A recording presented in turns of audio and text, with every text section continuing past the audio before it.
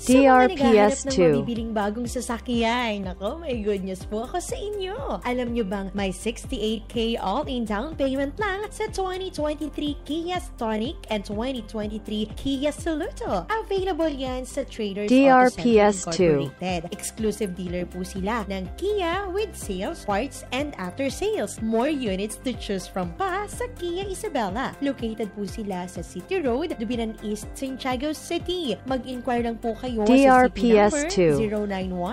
0919-0658-755 or ilike ang Kia Isabela on Facebook.